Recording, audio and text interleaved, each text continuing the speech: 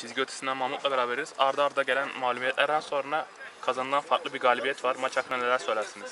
E, işin açıkçası gerekirse e, ilk yarıda çok zorlandık.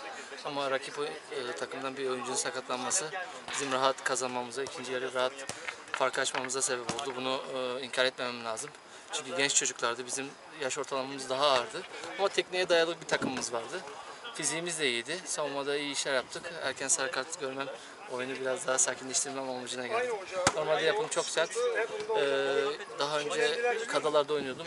Buradan e, teklif aldım. Burada oynamayı düşünüyorum artık. Ama rakip bulduğun için var. Zevkli bir akşam oldu. Sakatsız, kazasız, belasız oldu. Rakip Bulu ailesine size teşekkür ediyorum. Teşekkürler, iyi akşamlar.